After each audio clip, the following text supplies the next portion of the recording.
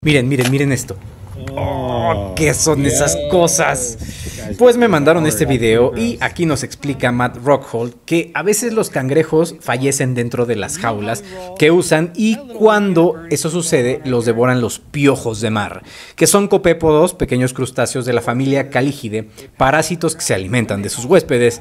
Así que no solo hay microorganismos consumiendo la materia orgánica, ¿no les parece impresionante cómo en cuanto fallece uno todo llega a consumirte? Bendito sistema inmune y microbiota. Valórenlos más y cuídenlos mucho.